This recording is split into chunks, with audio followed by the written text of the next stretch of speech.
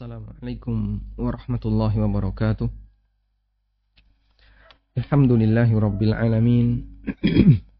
Wassalatu wassalamu ala ashrafil mursalin. Nabiina wa maulana Muhammadin wa ala alihi wa sahbihi ajma'in. Wa ashhadu an la ilaha illallah wahdahu la sharika lah. Wa ashhadu anna Muhammadan abduhu wa rasuluh sallallahu alaihi wa ala alihi wa sahbihi wa sallama tasliman katsira thumma amma ba'd. Alhamdulillah puji syukur kita haturkan kehadirat Allah Subhanahu wa taala.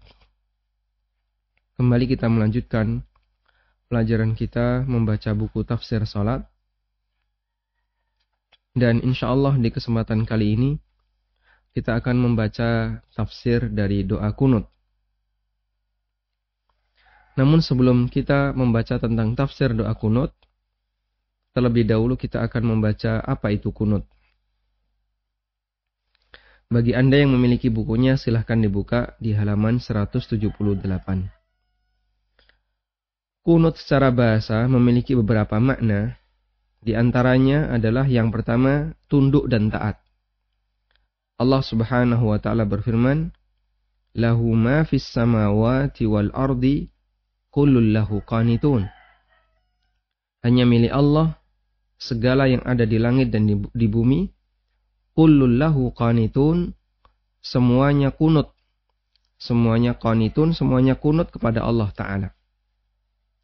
Dan makna semuanya kunut kullul lahu qanitun makna kunut dalam ayat ini artinya adalah taat. Semuanya taat dan tunduk kepada Allah Subhanahu wa taala bentuk ketaatannya dalam dalam bentuk apa? Ketaatan yang dilakukan oleh makhluk yang ada di langit dan di bumi, semua yang ada di langit dan di bumi adalah tidak keluar dari takdir Allah. Sehingga taat yang dimaksud di sini adalah taat kauni. Taat kauni artinya tidak keluar dari kehendak takdir Allah Subhanahu wa taala. Dan taat kauni tidak bernilai pahala karena ini adalah ketaatan yang berlaku untuk semua makhluk. Sebagaimana yang Allah firmankan di surat Maryam, "In kullu man fis samawati wal ardi illa atir rahmani abda." Segala sesuatu yang ada di langit dan di bumi, illa atir rahmani abda, mereka akan datang di hadapan Allah Ta'ala sebagai hamba. Hamba dalam arti hamba kauniyah. Meskipun bisa jadi ketika di dunia dia tidak mau beribadah kepada Allah. Seperti orang kafir. Dan makna penghambaan kauniyah artinya adalah ketaatan kepada Allah, penghambaan kepada Allah dalam bentuk dia tidak bisa keluar dari takdir Allah Subhanahu wa taala. Kemudian yang kedua, makna kunut adalah ibadah salat sebagaimana yang Allah firmankan dalam Al-Qur'an Ya Maryam uqnuti li rabbiki. Wahai Maryam uqnuti li rabbik. Wasjudi warka'i marrakiin. Wahai Maryam lakukanlah kunut maksudnya lakukanlah salat. Wasjudi warka'i marrakiin bersujudlah dan rukuklah bersama orang-orang yang rukuk. Dan makna uqnuti di sini adalah perintah untuk melaksanakan salat sebagaimana keterangan para ahli tafsir. Kemudian makna kunut yang ketiga adalah diam dan tenang. Seperti yang Allah firmankan di surat Al-Baqarah ayat 238, Hafizu 'ala salawati was salatil wusta wa qumu lillahi qanitin.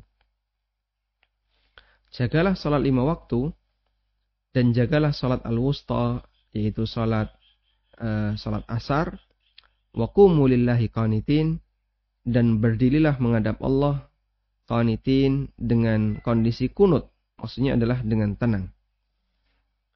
Dan ayat ini turun sebagai peringatan bagi para sahabat ketika mereka sholat mereka ngobrol sebelum dilarang oleh Allah Subhanahu wa taala Sehingga saat mereka sholat, mereka bicara dengan sampingnya, mereka bicara dengan samping kanan dan kirinya, berbicara urusan dunia.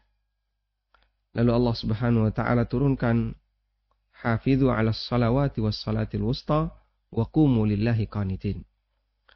Berdirilah menghadap Allah artinya lakukanlah salat qanitin dalam kondisi kunut maksudnya adalah dalam kondisi diam, tenang, tidak boleh bicara, tidak boleh banyak bergerak. Sehingga orang yang melakukan kunut artinya adalah orang yang banyak diam, banyak tenang, ya, tidak bicara ketika dia melaksanakan ibadah sholat. Zaid bin Arqam radhiyallahu anhu menceritakan sababun nuzul dari ayat di atas.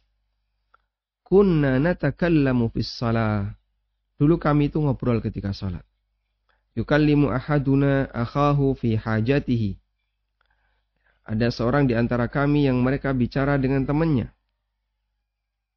Fi hajatihi ya, terkait kebutuhannya. Hatta nazalat hadil ayat sampai turun ayat, turun ayat ini. Hafizu ala salawati was salatil wusta wa qumu lillahi qanitin. Fa umirna bis sukuti wa nuhina anil kalam. Lalu kita diperintahkan untuk diam dan kita dilarang untuk bicara. Dan ketika itu bicara ketika sholat, sebelum turun ayat ini, bicara ketika sholat tidak termasuk membatalkan sholat. Sehingga orang yang bicara ketika dia sedang sholat, nggak batal sholatnya. Karena belum ada larangan. Sampai kemudian ada larangan, maka Wanuhina anil kalam. Kita dilarang untuk bicara ketika sholat. Sehingga berdasarkan hadis ini, maka ketika ada larangan untuk dilakukan dalam sholat, itu menunjukkan bahwasanya perbuatan itu bisa menjadi salah satu penyebab batalnya sholat. Tayyip.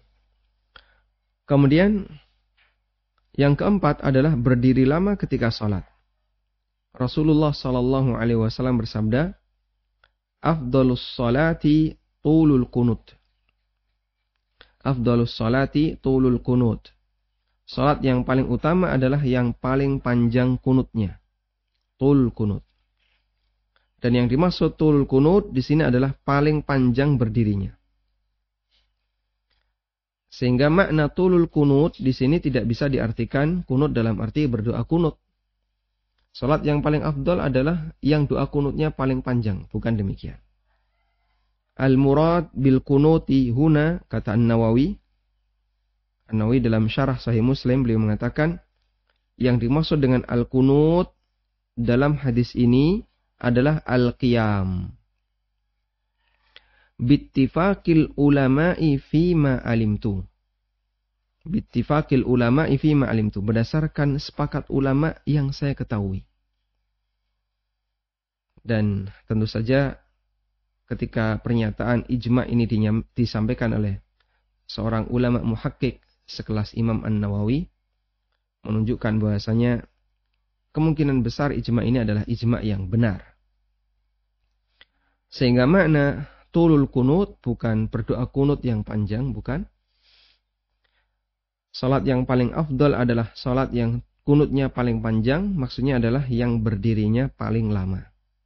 Karena kalau berdirinya lama, maka dia akan banyak membaca ayat-ayat Al-Quran dalam salatnya. Dan seperti inilah yang dipahami oleh Ibnu Umar radhiyallahu anhu. Beliau pernah ditanya tentang makna kunut. Jawab beliau, "Ma a'raful kunuta illa tulal qiyam." Aku tidak tahu tentang makna kunut selain tul qiyam. Illa tulal qiyam selain berdiri yang lama. Selain memanjangkan bacaan ketika sholat. Maksudnya adalah berdirinya lah lama. Sehingga ketika orang itu melakukan kunut dalam sholat, maksudnya adalah dia berdiri lama dalam sholat. Kemudian Ibnu Umar membaca firman Allah Ta'ala, amman huwa qanitun ana al-laili sajidan wa qa'ima. Ya. Apakah kamu, hai orang musyrik yang lebih beruntung, ataukah man huwa qanitun? Ataukah orang yang beribadah dengan berdiri lama? Ana al-lail di waktu malam. Sajidan wa qa'ima sujud dan berdiri sehingga qanitun di sini adalah melakukan ketaatan kepada Allah melakukan ibadah kepada Allah taala dalam bentuk salat dan itulah makna kunut yang keempat baik dan berdasarkan hadis ini, para ulama berbeda pendapat. Mana yang lebih afdol ketika orang melaksanakan sholat lail, qiyamul lail. Memperpanjang bacaan sehingga memperlama berdiri dan nanti konsekuensinya jumlah rokaatnya jadi sedikit. Ataukah memperpendek bacaan sehingga jumlah rokaatnya menjadi lebih banyak. Sehingga misalnya ada orang sholat dalam waktu satu jam. Qiyamul lail satu jam. Qiyamul lail satu jam di sini dia gunakan untuk sholat sebanyak misalnya 21 rokaat. Ketika dia gunakan untuk sholat sebanyak 21 rokaat, eh, tentu saja nanti lama berdirinya pendek-pendek. Dengan orang yang sholat 11 rakaat. Dengan waktu yang sama, yaitu satu jam. Mana yang lebih afdol? Memperbanyak jumlah rakaat, tapi konsekuensinya pendek-pendek, ataukah memperlama bacaan, dan nanti jumlah rakaatnya jadi sedikit. Ulama beda pendapat dalam masalah ini.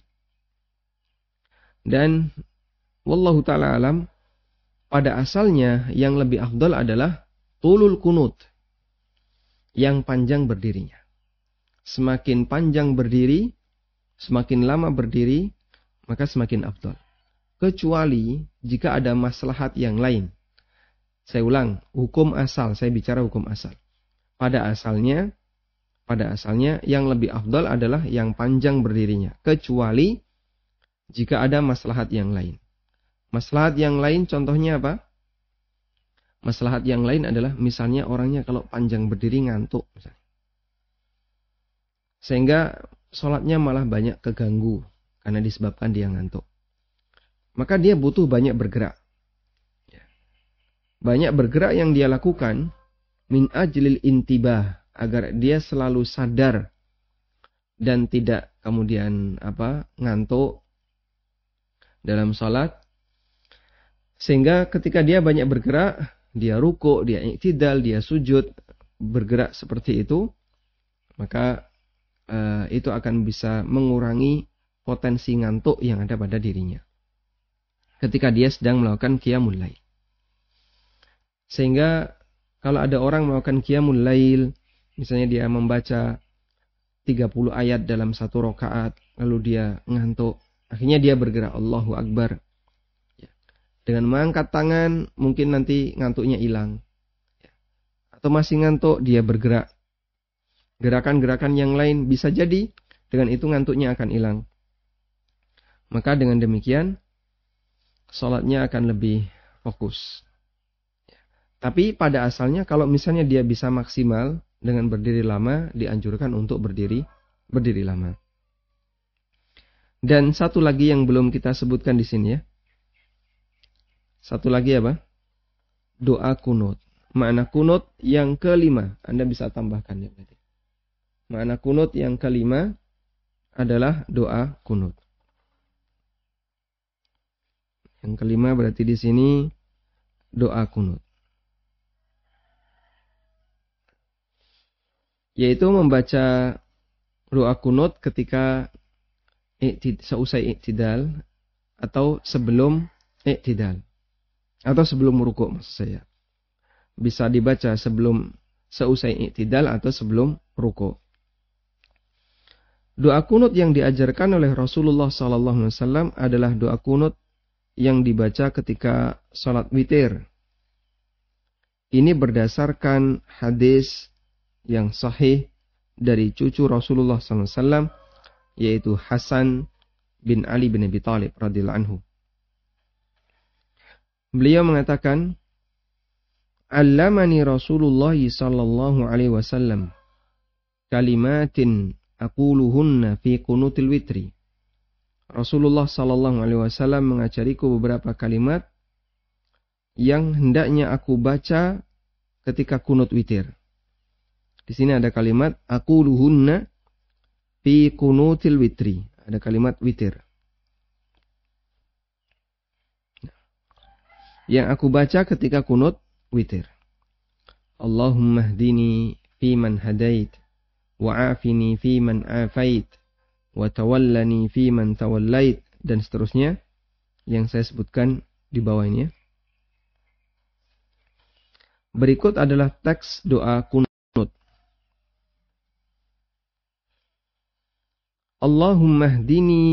Man hadait wa afini fi man afait وتولني فيمن توليت وبارك لي فيما أعطيت وقني شر ما قضيت إنك تقضي ولا يقضى عليك وإنه لا يذل من واليت ولا يعز من عاديت تباركت ربنا وتعاليت.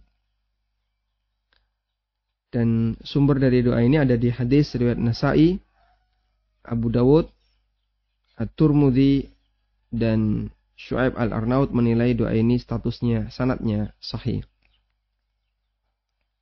Nah,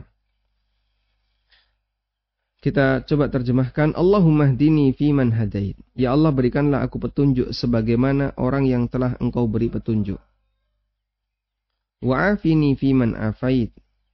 Berilah aku keselamatan sebagaimana orang yang telah engkau beri keselamatan. Sehingga kita mohon kepada Allah dengan menyebutkan orang yang telah diberi nikmat oleh Allah sebelumnya. Nanti akan kita detailkan bagian itu. Sebagaimana kita bersolawat untuk Nabi Sallallahu Alaihi Wasallam dengan menyebutkan orang yang sudah mendapatkan solawat sebelumnya, yaitu siapa? Ibrahim alaihissalam. Allahumma salli ala Muhammad wa ala ali Muhammad kama sallaita ala Ibrahim. Ya Allah berikanlah salawat kepada Muhammad dan keluarga Muhammad sebagaimana engkau telah memberikan salawat kepada Ibrahim.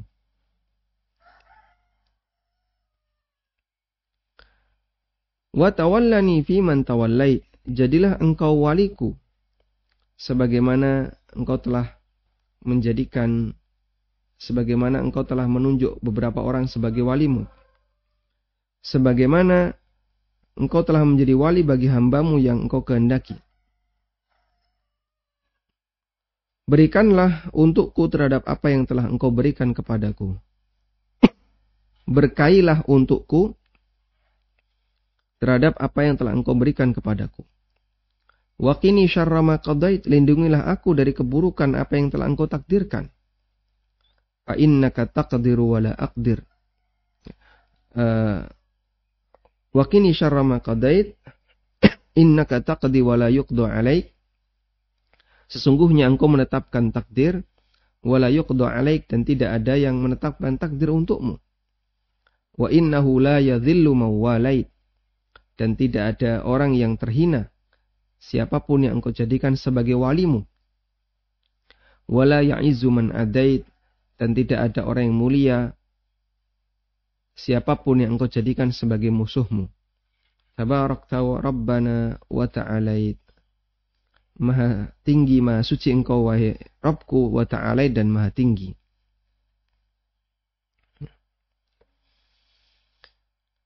Dalam riwayat yang lain, riwayat Ibnu Manda dalam At-Tauhid terdapat tambahan yang statusnya hasan wala manja minka illa ilaik. Tidak ada tempat untuk menyelamatkan diri dari hukumanmu illa ilai kecuali dengan bersandar kepadamu. Sehingga kalau kita cantumkan, maka ini bisa ditaruh di bagian belakang. Tabarakta Rabbana wa ta'alait wala manja minka illa ilai. Baik. Saya harap Bapak Ibu, para pemirsa bisa menghafal doa kunut yang Masya Allah isinya banyak sekali kebaikan ini. Sehingga bisa kita baca ketika kita kunut witir baik di bulan Ramadan maupun di luar bulan Ramadan. Nah, sekarang kita akan lihat bagaimana penjelasan doa kunut. Penjelasan ini saya sadur dari Majma' Fatawa Imam Ibn Utsaimin rahimahullah. Dari Majmu' Fatawa Imam Ibn Utsaimin ada syarah tentang doa kunut. Allahumma hdini fi man hadait. Ya Allah, berikanlah aku petunjuk sebagaimana orang yang telah engkau beri petunjuk. Di awal doa kunut kita memohon kepada Allah petunjuk. Petunjuk berupa hidayah yaitu ilmu yang bermanfaat dan amal saleh. Ilmu yang bermanfaat dan amal saleh. Karena hidayah itu dua ini. Hidayah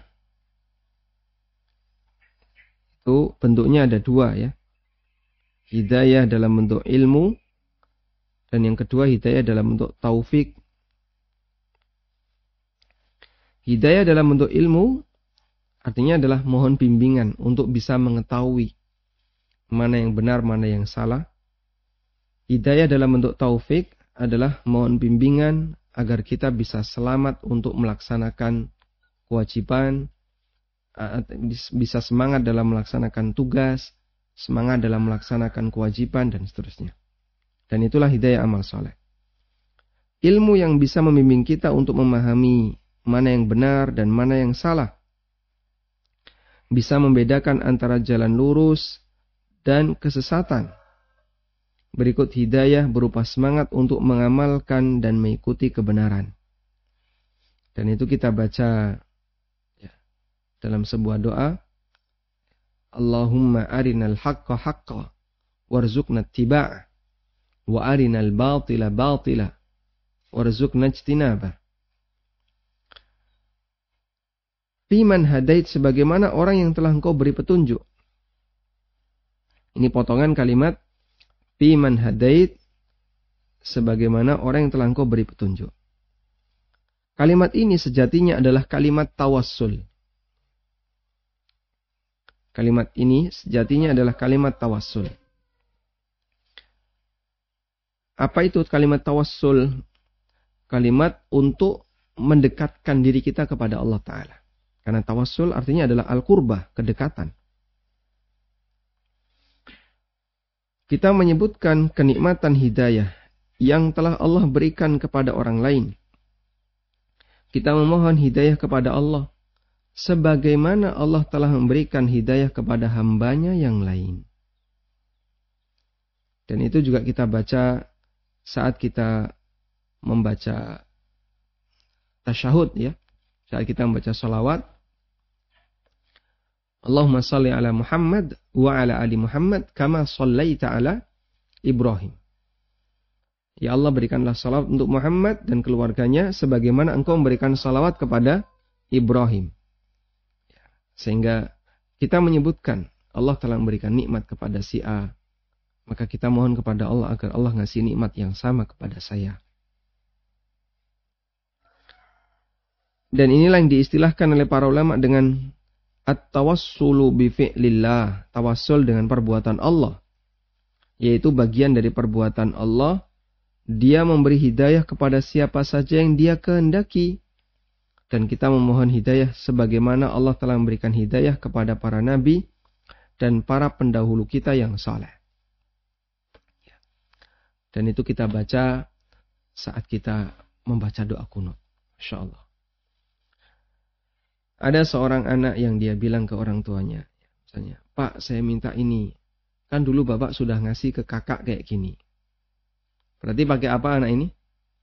ketika dia berdoa, eh, ketika dia meminta bukan berdoa ya, ketika dia meminta kepada orang tuanya agar diberi sesuatu, maka sang anak menyebutkan, kan dulu bapak sudah ngasih ini, sudah ngasih kakak barang ini.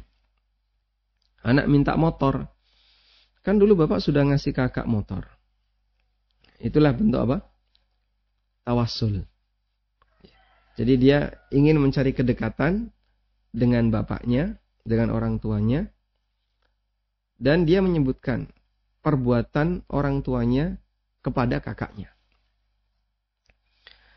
Sehingga ketika orang berdoa kepada Allah dengan melakukan tawasul seperti ini, maka dia memohon kepada Allah agar diberi nikmat sebagaimana nikmat yang pernah Allah berikan kepada yang lain.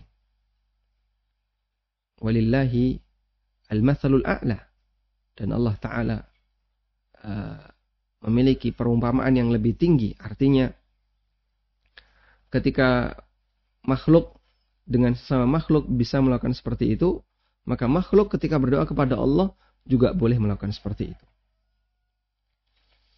Sehingga kita berdoa kepada Allah Subhanahu wa taala dengan menyebutkan kalimat seperti ini. Kalimat tawassul. Sebagaimana engkau telah berikan kepada si A, kepada si B. Nah. Dan hal yang sama juga kita ucapkan di redaksi berikutnya. Wa'afini fi man afait.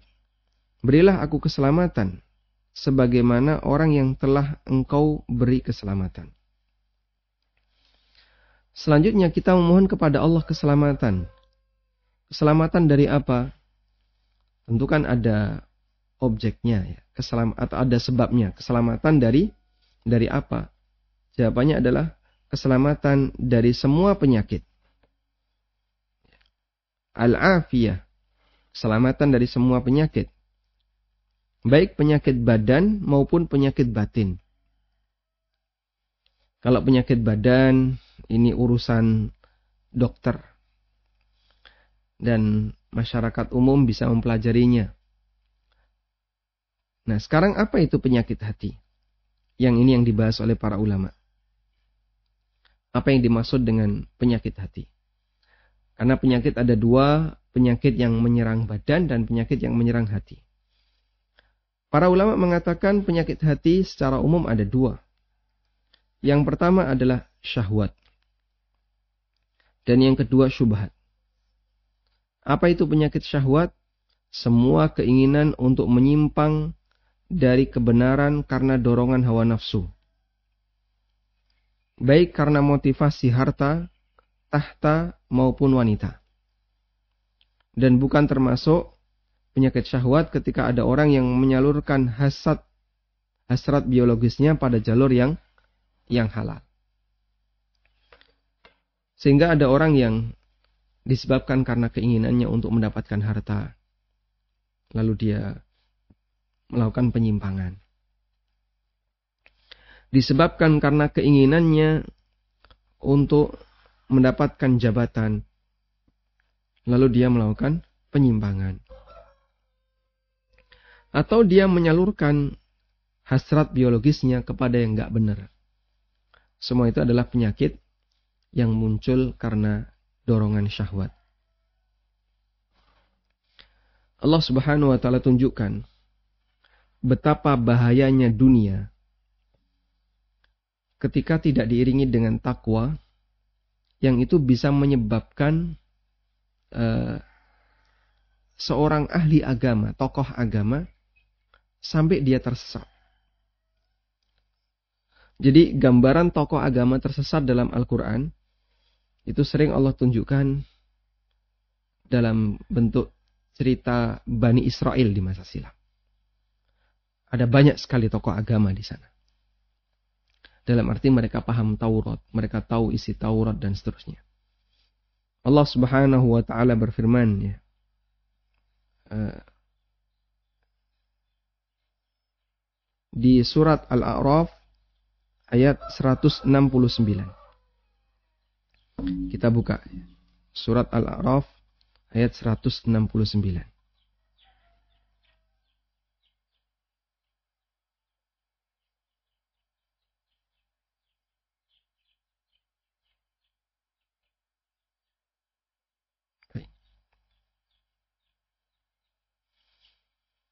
Allah berfirman, فَخَلَفَ مِنْ بَعْدِهِمْ خَلْفٌ وَرِثُوا الْكِتَابَ ya'khuduna arada hadzal adna. Maka datanglah sesudah mereka generasi yang jahat. Warithul kitab yang mereka mewarisi Taurat. Artinya generasi seterusnya ini, generasi penerus Bani Israel ini, mereka mempelajari Taurat. Dan keberadaan mereka sebelum Al-Quran turun. Namun apa yang terjadi? Ya'khuduna arada hadzal adna yang mengambil harta benda dunia yang rendah ini. Wa yaquluna dan mereka mengatakan sayughfaru lana, kami akan diberi ampunan, kita akan diampuni. Sehingga mereka menerima sogok. Itu tokoh agama. Mereka menerima sogok. Dibayar, disogok, mungkin oleh pejabat Yahudi atau Bani Israel yang punya kekuasaan. Dengan maksud agar bisa mempengaruhi masyarakat dengan statusnya sebagai tokoh agama. Kemudian di apa? Disampaikanlah fatwa-fatwa yang menyimpang. Bahkan sampai berani memberikan koreksi terhadap Taurat. Akhirnya Taurat dikoreksi. Masya Allah. Padahal itu kitabullah. Akhirnya banyak kepalsuan, eh, banyak bentuk pemalsuan dalam Taurat. Disebabkan seperti ini. Setelah itu mereka bertobat. Minta ampun, minta ampun. Dan mereka yakin, saya ufarulana, kita akan diampuni. Jadi ketika menerima sogok, mereka punya bayangan, nanti setelah ini kita bertobat. Kemudian minta ampun. Namun anehnya, wa iyyatihim aradum misluhu ya'khudhu. Kalau datang lagi tawaran sogok seperti itu diambil lagi. Dan kelak jika datang kepada mereka harta benda dunia sebanyak itu, sebanyak itu pula, niscaya mereka akan mengambilnya juga. Jadi kemarin waktu berbuat maksiat, lalu dia bertobat, dia mohon ampun, dia astagfirullah, kita akan terus dia yakin pasti nanti akan di, diampuni. Ketika ada yang ngasih sogok lagi, diterima lagi. Itu Allah gambarkan bagaimana kondisi orang yang dia punya penyakit syahwat sampai dia melakukan penyimpangan dalam bentuk apa? Dia membuat fatwa yang menyimpang, dia menyampaikan penjelasan di masyarakat yang menyimpang, mungkin untuk mendukung kepentingan pejabat Yahudi ketika itu, penguasa Bani Israel ya, untuk mendukung kepentingan politik tertentu dan mereka disogok, mereka dibayar. Lalu Allah katakan, Alam yu'khad alaihim mithaqul kitabi alla yaqulu 'ala Allah illa al-haqq wa darasu ma. Bukankah mereka telah diambil janji janjian dalam Alkitab bahwasanya mereka tidak boleh mengatakan atas nama Allah ilal haq kecuali kebenaran wa darasu ma fihi dan mereka harus mempelajari isi dari Taurat. Ya. Allah katakan, bukankah perjanjian Taurat sudah diambil dari mereka? Yaitu bahwa mereka tidak akan mengatakan terhadap Allah, ya, Allah yakulu ala Allah, mereka tidak akan mengatakan sesuatu atas nama Allah, illal haq kecuali yang benar. Padahal mereka telah mempelajari wadarasu fihi, mereka telah mempelajari apa yang tersebut dalam Taurat. Wadarul akhiratu khairul lilladzina yattaqun. Dan negeri akhirat itu lebih baik bagi orang-orang yang bertakwa. Kita memohon afiah kepada Allah Ta'ala. Karena dunia yang demikian indah untuk dipandang, demikian enak untuk dinikmati, bisa jadi menyebabkan orang itu menyimpang dari agama. Makanya Nabi Shallallahu Alaihi Wasallam mengatakan, "Ma bani jai'an ursila fi ghanamin." Dua ekor serigala yang lapar ketika dilepas di kerumunan kambing dilepas di kerumunan kambing. Dua serigala lapar. Kenapa dua? Karena kalau sendirian mungkin keberaniannya kurang. Begitu dua, serigala itu akan lebih berani. Kata Nabi SAW, itu tidak lebih merusak dibandingkan rusaknya agama manusia karena dia ingin mengejar dunia. Sehingga saat orang itu mengejar dunia, korban rusaknya adalah agamanya. Sehingga dia mengambil sesuatu yang haram. Karena dorongan syahwat tadi. Dia utang riba, dia melakukan praktek haram yang lainnya, dan seterusnya. Yang kedua adalah penyakit syubhat. Yaitu semua pemikiran sesat yang bercokol di benak seseorang sehingga menghalangi dirinya untuk memilih jalan kebenaran. Atau ungkapan lain dari penyakit syah, uh, penyakit syubhat adalah alasan yang dipakai oleh seseorang untuk mempertahankan penyimpangannya. Sehingga saat dia ditanya, "Kamu kok punya pikiran kayak gini? Kenapa?" Ya. Mungkin dia akan mengatakan, Oh alasannya seperti ini, seperti ini. Nah alasan itulah syubhat yang menghalangi dirinya untuk bisa menerima kebenaran. Nah ketika orang punya syubhat, maka syubhat itu harus disingkirkan dulu, barulah dia bisa menerima kebenaran. Contoh misalnya, ada orang yang dia sudah diingatkan ini tuh haram, tidak boleh. Loh, kata siapa itu haram? Kalau ini haram, nanti kayak gini, kayak gini, kayak gini. Nah, terus dia beralasan, nanti kayak gini, kayak gini. Nah, itu namanya syubhat. Sehingga bisa jadi ada orang yang berpegang dengan satu prinsip tertentu yang itu keliru. Sehingga disebabkan karena apa yang dia lakukan ini menyebabkan dia eh, apa terjerumus dalam sesuatu yang haram. Masih banyak orang misalnya tidak mengakui bahwa riba di bank itu sesuatu yang haram. Saya ulang, banyak orang yang tidak dia tidak mau mengakui bahwa bunga bank itu riba.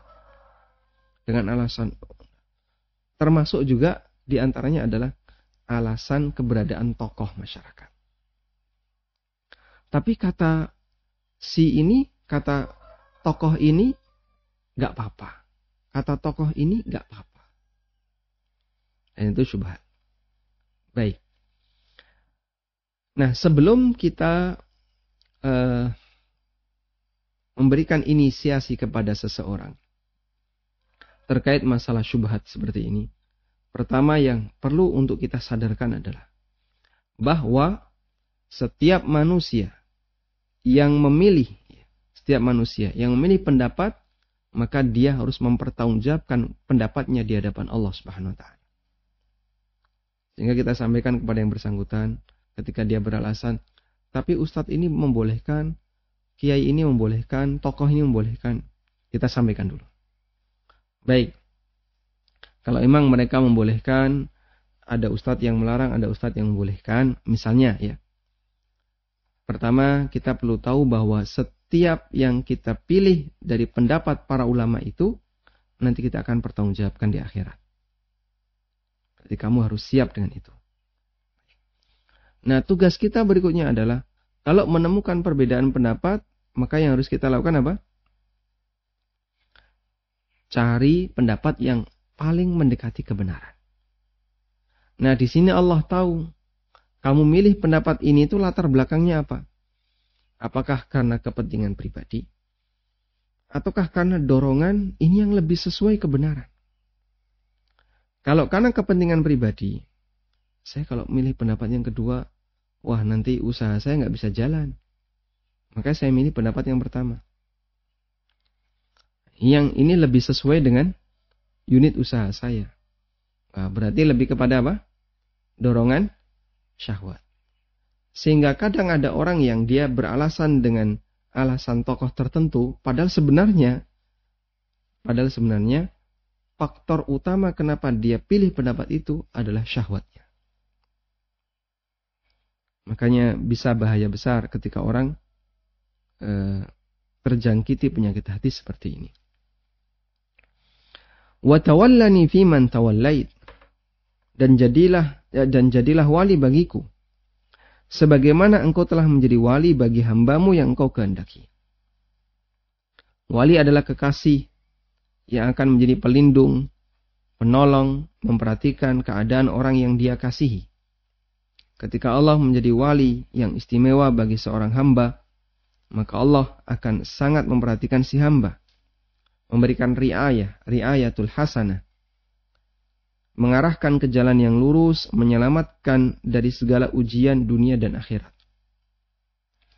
Allah berfirman, Allahu waliyul ladzina amanu yukhrijuhum minadh dhulumati ilan nur. Walladzina kafaru awliya'uhumut tagut. Allah adalah pelindung bagi orang-orang yang beriman. Dia mengeluarkan dari kegelapan, maksudnya adalah kekafiran, ilan nur kepada cahaya iman. Walladzina kafaru awliya'uhumut tagut. Sementara orang-orang kafir, walinya adalah togut. Sehingga ketika walinya jadi togut, walinya adalah setan, maka ya dia nanti akan diarahkan ke jalan setan. Yukhrijuhum minan nuri ila dhulumat. Mengeluarkan mereka dari cahaya kepada kegelapan. Dibalik. Nah, kalimat wabarik li fima a'taid. Berkailah untukku terhadap apa yang telah engkau berikan kepadaku. Berkah berasal dari kata birkah.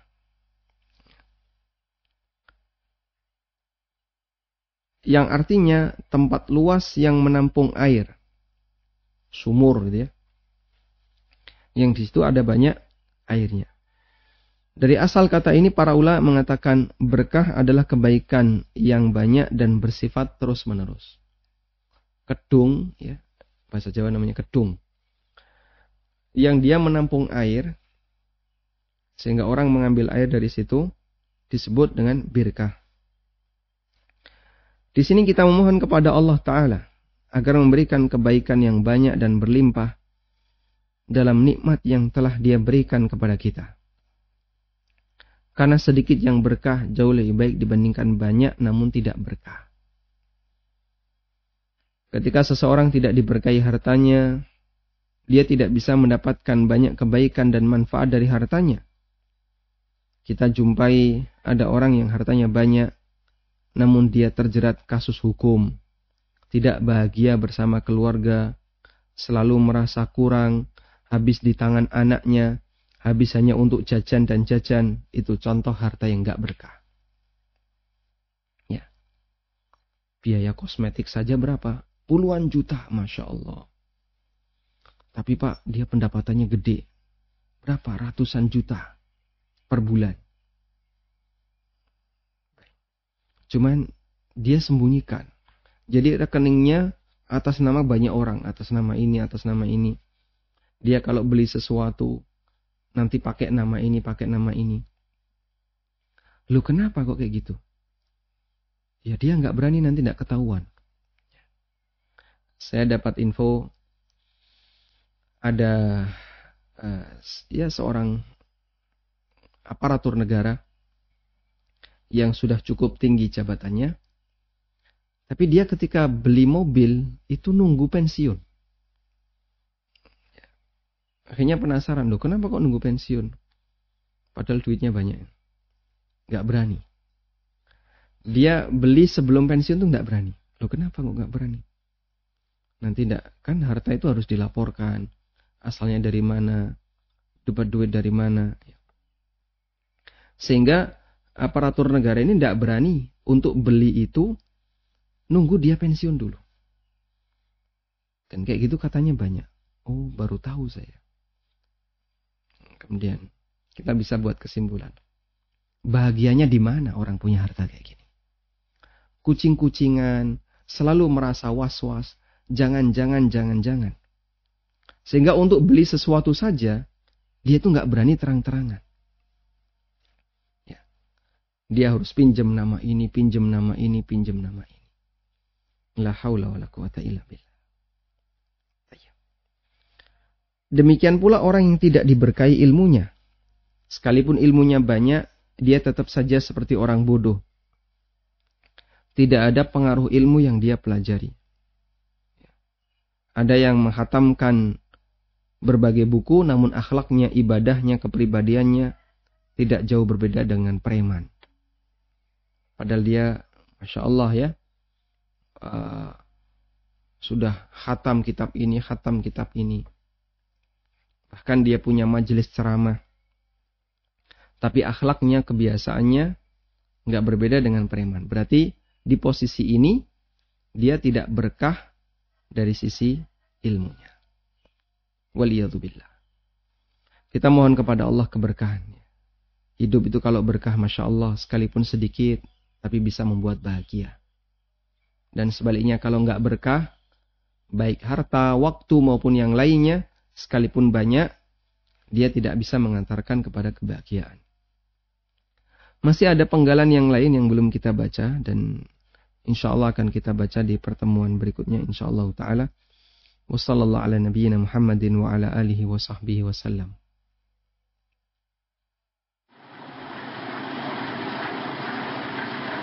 Assalamualaikum warahmatullahi wabarakatuh. Alhamdulillah wassalatu wassalamu ala rasulillah wa ala alihi wa sahbihi wa mawalah. Alhamdulillah saat ini pembangunan gedung MIPS unit kerajaan sudah pada tahap mau membuat lantai dua. Dan bagi para jamaah yang barangkali belum terlibat untuk wakaf pembebasan lahan, Anda bisa turut serta untuk membuat pembebasan lahan yang kedua. Karena sejatinya lantai dua juga dimanfaatkan sebagaimana fungsi lantai satu. Insya Allah untuk pengadaan lantai dua ini kita akan buka donasi dalam bentuk paket wakaf. Untuk lantai dua akan dibuat kurang lebih seluas 425 meter persegi dan biaya per meter kurang lebih 500 ribu. Bagi para jamaah yang ingin turut serta dalam pengadaan lantai dua untuk dijadikan sebagai tempat belajar bagi para santri penghafal Quran, Anda bisa turut serta dengan nilai satu paket 500 ribu. Semoga Allah subhanahu wa ta'ala menjadikan amal kita sebagai amal yang diterima, amal yang nilainya panjang, amal wakaf, karena dimanfaatkan untuk kegiatan ibadah kepada Allah Subhanahu wa taala. Wassallallahu ala nabiyyina Muhammadin wa ala alihi wa sahbihi wasallam. Alhamdulillahirabbil alamin. Selanjutnya kami persilahkan bagi Anda yang mau bergabung. Baik, silakan. Waalaikumsalam warahmatullahi Silakan, Bapak. Barakallahu fikum Ustaz. Wa fikum barakallah. Apa Ustaz, uh, ini anak yang kemarin lagi yang nanya masalah uh, fisioterapi Ustaz. Yang anak udah paham tentang tentang uh, pemberian fitur dokter pengirim untuk fisioterapi. Nah, uh, ada cuma mau tanya Ustaz, uh, metode yang mau kena bawa untuk terapi di mata ini, itu kan belum ada fisioterapi yang uh, mengerjakan seperti itu. Jadi baru berkembang di Jakarta. Jadi boleh bilang mungkin dokter-dokter sini banyak yang belum tahu tentang metode yang akan saya uh, kerjakan di uh, di daerah Sumatera Barat itu saat ya. Hmm. Terus yang jadi pertanyaan Ana itu bagaimana kalau seandainya nih Ana datang ke dokter dokter lain selain yang dok, uh, dok maksudnya bukan di kliniknya tapi ke dokter-dokter rumah sakit yang lain Ana memperkenalkan metode yang Ana bawa tapi tanpa uh, melakukan kerjasama atau pemberian fee ke dokter-dokter tersebut, Ustaz. Apakah boleh seperti itu, Ustaz? Baik. Cukup, uh, Bapak. Itu aja, Ustaz. Nah, barakallahu fiik. Aja, Ustaz. Wajazakallahu khairan. Bolehkah kita menawarkan kepada dokter tentang keahlian kita, termasuk juga menawarkan obat ke dokter yang kita punya. Jawabannya sah-sah saja. Yang penting tidak ada kerjasama untuk melakukan referral ya. Sehingga kalau Anda memperkenalkan, Anda punya kemampuan seperti ini. Teknik fisioterapi yang itu jarang diketahui oleh dokter. Kemudian setelah Anda presentasi selesai. Selanjutnya nanti dokter punya pasien apakah mau diantar ke tempat Anda atau ke tempat yang lain itu sesuai dengan apa kebijakan dokter yang beliau lebih paham. Beliau lebih paham apa yang terbaik untuk pasien. Silahkan dilakukan. Termasuk juga ketika ada banyak pabrik obat yang presentasi ke rumah sakit. Saya punya obat ini, keunggulannya demikian, tapi murah harganya cuma sekian. Punya obat ini, keunggulannya ini, harganya cuma sekian. Dan seterusnya. Sebatas presentasi menunjukkan saja. Tapi tidak boleh ada kerjasama. Kalau ada kerjasama, nanti tolong Pak ya, kalau ada pasien, kita punya target, jika Bapak bisa uh, apa mereferensikan sekian orang untuk obat kami, untuk terapi kami, nanti Bapak kami kasih sekian persen. Metode seperti ini tidak boleh. Model kayak gini akan menyebabkan dokter itu menjadi tidak bisa bersikap amanah. Bentuk amanah dokter adalah selalu berprinsip memberikan terbaik untuk pasien. Dan saya kira itu juga jadi kode etik bagi para tenaga medis ya. Sehingga dia nggak boleh kemudian mengalihkan e, Bapak harus beli obat di sini, harus di sini.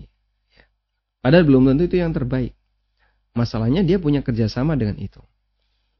Lain lain halnya kalau begini ya, dokter um, apa punya apotek sendiri. Lalu dia dia ngobati pasien plus paket obatnya. Ya. Setelah diperiksa, kemudian dikasih obat. Nah ini nanti silahkan diminum. Ini tiga hari sekali. Kok tiga hari sekali? Ya? Ini tiga kali sehari. Yang ini dua hari dua kali sehari dan seterusnya.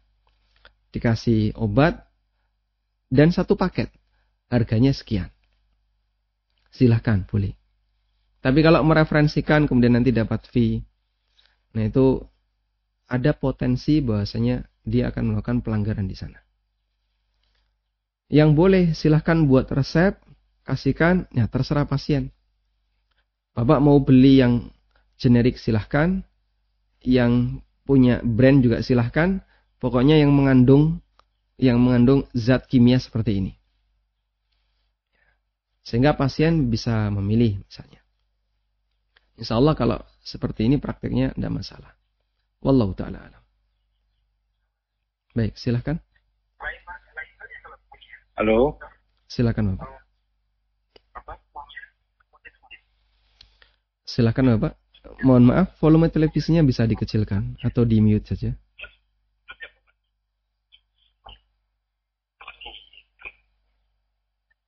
Assalamualaikum. Waalaikumsalam warahmatullah. Silakan Bapak. Ini yang langsung ya Pak Ustadz ya? Bapak sudah terhubung. Silakan. Iya. Ini yang kajian pagi ini bukan Pak, saya Budi di Selatan Pak. Betul Bapak. Bapak sudah terhubung. Begini Pak, tadi mengenai harta yang berkah tadi yang Bapak bahas dalam apa doa kunut tadi. Ya. Halo? Iya, silakan Bapak. Bagaimana Pak kita mengetahui bahwa harta kita itu berkah di mata Allah? Sebagai contoh begini, kita melihat, misalnya kita melihat seseorang yang punya penghasilan yang lumayan lah, maksudnya tidak banyak juga, tidak sedikit juga, dan orang juga dermawan, juga membantu uh, pembangunan masjid, yatim piatu dan sebagainya dan sebagainya Pak.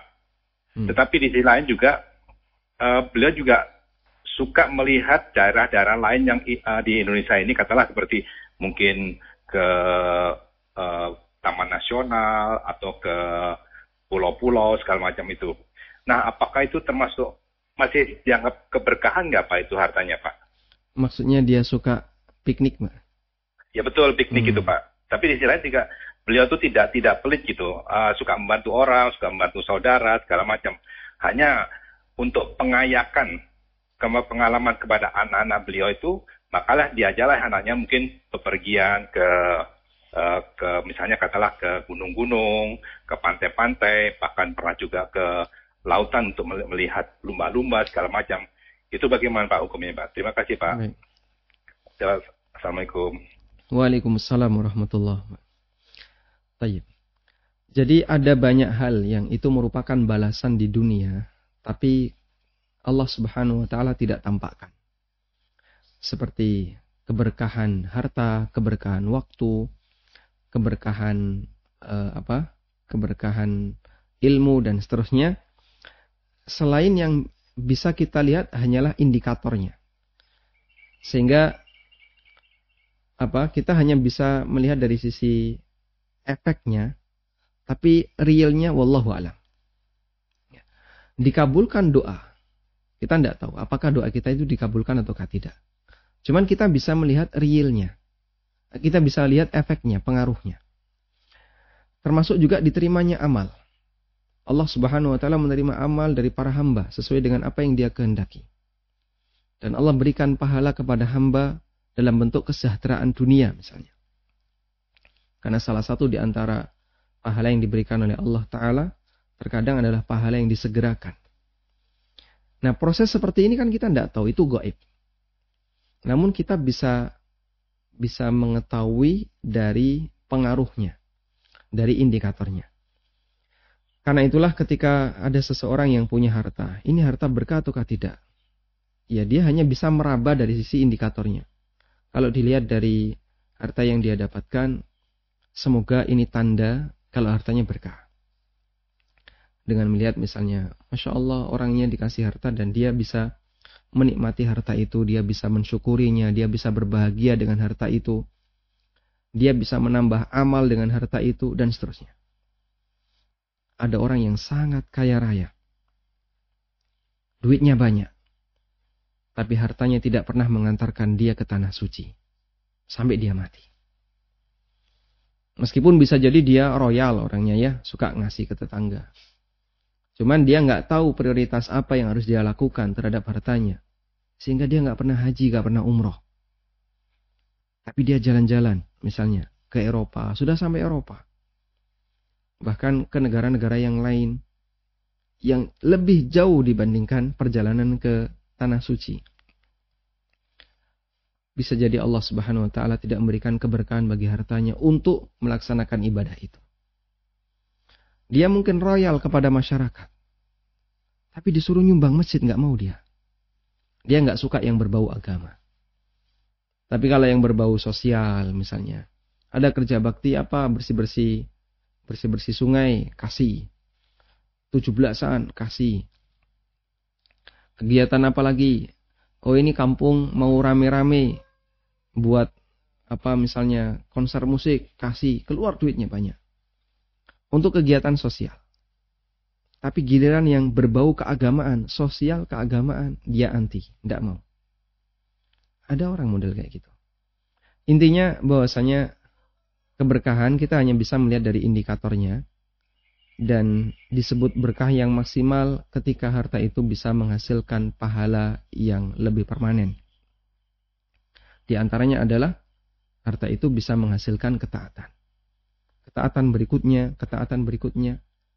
Sehingga harta itu akan bermanfaat bagi dia tidak hanya di dunia, bahkan sampai bermanfaat di akhirat. Makanya sahabat Jabir bin Abdullah radhiyallahu menyebutkan kondisi para sahabat Nabi sallallahu alaihi wasallam. Ma min ashabin Nabi sallallahu alaihi wasallam dzu maqdiratin illa waqafa nggak ada satupun di antara sahabat Nabi Sallallahu Alaihi Wasallam yang punya kemampuan kecuali dia wakaf dalam rangka untuk mengabadikan hartanya agar bisa dinikmati kelak di hari kiamat. Nah, masalah orang itu berpiknik, insya Allah tidak ada larangan selama tidak terhitung sebagai bentuk pemborosan, tidak terhitung sebagai bentuk israf, dalam arti ketika dia melakukan seperti itu tidak menyebabkan dia kemudian sampai harus utang-utang gara-gara untuk uh, memenuhi keinginannya jalan-jalan ke luar kota, jalan-jalan ke Eropa atau ke tempat yang lain yang butuh biaya mahal. Wallahu a'lam. Assalamualaikum Ustaz. Waalaikumsalam warahmatullah. Izin bertanya tentang kunut witir yang khusus di bulan Ramadan dalam kunut witir bulan Ramadan diamalkan atau dibaca mulai malam ke-16. Hal tersebut apakah memang sunahnya seperti itu? Mohon pencerahannya Ustaz. Untuk kunut taraweh, ya, untuk kunut taraweh, kemudian dibaca ketika witir sholat taraweh, Ini dipraktekkan oleh Umar bin Khattab radhiyallahu anhu. Beliau perintahkan kepada uh, imamnya yaitu Ubay bin Ka'ab dan Tamim Ad-Dari agar membaca kunut setelah masuk pertengahan Ramadan, dan nisf setelah masuk pertengahan Ramadan. Dan yang dibaca berbeda dengan doa kunut uh, apa doa kunut yang tadi kita baca. Mereka membaca Allahumma qatilil kafaratal ladzina yasudduna an sabilik wa yukadzibuna rusulak wa la yu'minuna biwa'dik dan seterusnya sampai akhir doa. Sehingga berbeda dengan redaksi kunut witir seperti yang diriwayatkan dari sahabat Hasan bin Ali radhiyallahu anhu. Karena itu jika Anda sholat witir di rumah, sholat witir di rumah, Anda terawih di rumah, Anda sholat lail di rumah, kemudian kunut witir, silakan baca doa tadi. Allahumma hdini fiman hadait, wa'afini fiman afait, dan seterusnya. Tapi kalau Anda ikut jamaah, kemudian sholat terawih berjamaah di masjid, lalu imam membaca kunut witir, ya aminkan saja apa yang mereka baca. Karena kunut witir ketika terawih berjamaah di masjid ini sifatnya untuk kemaslahatan bersama. Doa yang sifatnya untuk kemaslahatan bersama. Ya, misalnya memohon kesejahteraan bagi kaum muslimin, memohon kepada Allah agar negaranya diberikan kebaikan, keberkahan bagi masyarakat dan seterusnya. Wallahu a'lam. Silahkan. Assalamualaikum Ustaz. Waalaikumsalam warahmatullahi Ustaz izin bertanya, kalau kalau kita misalnya sholat sholat wajib, asal wajib kan kita sunnah tuh. Apa kita apakah kita harus pindah bergeser tempat ya Ustaz? Uh, ibu sholat di masjid atau di rumah? Di rumah. Oh di rumah. Nah. Tayyib. Iya makasih Ustaz. Waalaikumsalam warahmatullahi wabarakatuh. Untuk sholat qobliyah dan ba'diyah, apakah harus pindah tempat dari sholat wajibnya? Untuk sholat qobliyah, orang boleh sholat, uh, dianjurkan untuk sholat qobliyah. Ini saya bicara mereka yang sholat di masjid ya. Untuk sholat qobliyah, dianjurkan sholat qobliyah di rumah. Kecuali jika tidak memungkinkan, boleh di masjid. Nah, sholat qobliyah di masjid itu kan bebas tempatnya. Mau di mana pun silahkan. Begitu sholat wajib, tentu saja dia harus pindah. Pindah ke mana? Mencari soft yang paling dekat dengan imam. Semakin dekat dengan imam, makin bagus. Maka perpindahan di sini, perpindahan tempat di sini sifatnya adalah perpindahan dalam rangka untuk menyempurnakan sholat jamaah. Karena kemungkinan besar ini di luar kondisi pandemi. Kalau pandemi kan sudah dikasih garis-garis tuh.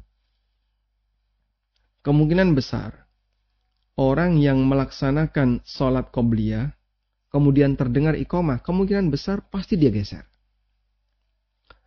Karena nanti harus merapatkan, nanti harus maju, dan seterusnya. Yang kedua sekarang. Nah, ketika kita mau sholat ba'diyah, setelah sholat wajib, kemudian dikir, kita mau sholat ba'diyah. Apakah dianjurkan untuk pindah? Jawabannya dianjurkan untuk pindah. Sehingga kalau bisa Anda pindah, silahkan pindah. Dan yang lebih bagus adalah dikerjakan di, di rumah. Sekarang apakah ini juga berlaku bagi ibu-ibu yang sholat di rumah? Wallahu alam. Dohir hadis itu uh, berlaku untuk kegiatan yang ada di masjid. Sehingga yang ada di rumah, jika sudah ada musola misalnya, atau di kamar di situ sudah ada terpap, terhampar sajadah, dan di situ tempat Anda sholat, baik yang sunnah maupun yang wajib, silahkan Anda berada di tempat itu dan tidak perlu geser. Wallahu alam. Assalamualaikum Ustadz. Waalaikumsalam warahmatullah. Apakah ada dalil ketika khunut telapak tangan menghadap keluar Telapak tangan menghadap keluar. Keluar. Ini ini keluar atau ke dalam? Eh?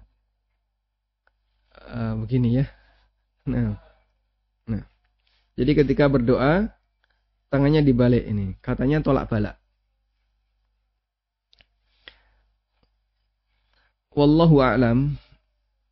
kami tidak mengetahui metode mengangkat tangan dengan tangan dibalik seperti ini ya. Wallahu alam saya nggak tahu. Cuman yang kita tahu adalah bahwa dianjurkan untuk mengangkat tangan sewaktu membaca doa kunut. Sehingga saat kunut kita angkat tangan. Nah, kemudian dibalik seperti ini wallahu alam saya tidak tahu. Dan rata-rata kalau kita lihat di masyarakat kenapa melakukan seperti itu ya? Melihat tokoh masyarakatnya. Guru saya kayak gitu. Akhirnya dia nggak tahu sumber ajaran itu dari dari mana. Wallahu alam kami belum tahu mungkin nanti Bapak Ibu bisa cari di yang yang tahu bisa sampaikan ke kami dan kami juga akan berusaha untuk untuk mengetahui asal usulnya. Semoga Allah mudahkan untuk memahaminya. Nah. Baik, silahkan. Assalamualaikum Ustaz. Waalaikumsalam warahmatullahi Uh, Ustaz mau bertanya, di perumahan saya kalau doa kunut itu beliau imam membacakan kunut di awal tapi di tengah tanpa bersuara Ustaz. Itu gimana? Maksudnya kunut di awal? Jadi yang doa awal iman hadai nanti ntar yang di tengah diam imam Ustaz. Jadi nggak di nggak disuarakan full dari pertama sampai akhir. Oh iya betul. Uh-uh. Itu bagaimana Ustaz? Baik. Uh, Jazakallah khair. Assalamualaikum warahmatullahi wabarakatuh. Waalaikumsalam warahmatullahi wabarakatuh. Allahumma hdini, Allahumma hdina fi man hadait, wa'afina fi man afait. Nanti ada bagian yang dibuat diam ya. Nah yang diam itu mulai kalimat innaka la taqdi wa la yuqda alaik wa innahu la yadhillu man walait wa la ya'izzu man adait dan seterusnya sampai tabarakta wa ta'alait. Kenapa ini dibuat diam? Wallahu taala alam. Saya cuma meraba. Saya cuma meraba. Jadi pujian untuk Allah itu tidak boleh diaminkan. Pujian untuk Allah itu tidak boleh di aminkan. Ya. Kenapa pujian untuk Allah tidak boleh diaminkan? Nabi Shallallahu Alaihi Wasallam pernah mengatakan, La taqulu assalamu ala Allah. Nabi SAW pernah bersabda, La taqulu La taqulu assalamu ala Allah. La taqulu assalamu ala Allah. Janganlah kalian mengatakan keselamatan untuk Allah. Lianna Allah huwas salam. Assalamu ala Allah. Jangan kalian mengatakan assalam untuk Allah. Keselamatan untuk Allah. Tidak boleh. Kenapa mengatakan assalamu ala Allah tidak boleh? Karena mendoakan Allah tidak boleh. Mendoakan Allah tidak diperbolehkan. La taqulu assalamu ala Allah. Artinya mendoakan untuk Allah tidak boleh. Nah kemudian Para ulama menjelaskan ini pernah disampaikan oleh Syekh Saleh Al-Utsaimin hafizahullah taala. Salah satu di antara penerapan larangan ini adalah kita tidak boleh mengaminkan orang yang sedang memuji Allah. Karena makna amin, dulu sudah pernah kita bahas ya. Amin artinya apa? Allahumma istajib. Ya Allah kabulkanlah. Amin. Ya Allah kabulkanlah. Sehingga ketika orang itu uh, memuji Allah, lalu kita mengucapkan amin, itu seperti kita mendoakan Allah. Makanya agar tidak terjadi potensi seperti itu, pujian untuk Allah itu dibuat pelan. Pujian untuk Allah itu dibuat pelan. Wa innahu la yadhillu mawalid wa la tabarakta rabbana wa ta'alait. Ini jangan diaminkan sehingga imamnya pelan. Maka dia baca keras cuma sampai di sini.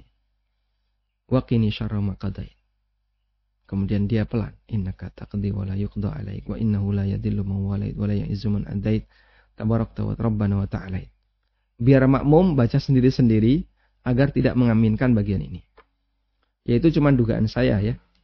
Dan ada tulisan yang uh, pernah saya tulis tentang ini di konsultasisyariah.com kita tidak boleh mengaminkan bagian yang isinya mendoakan Allah uh, isinya yang isinya pujian untuk Allah Subhanahu wa taala. Karena mendoakan Allah hukumnya tidak diperbolehkan. Wallahu taala alam demikian yang bisa kita sampaikan semoga bermanfaat.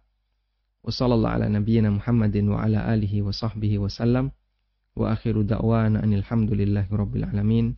Wassalamualaikum warahmatullahi wabarakatuh.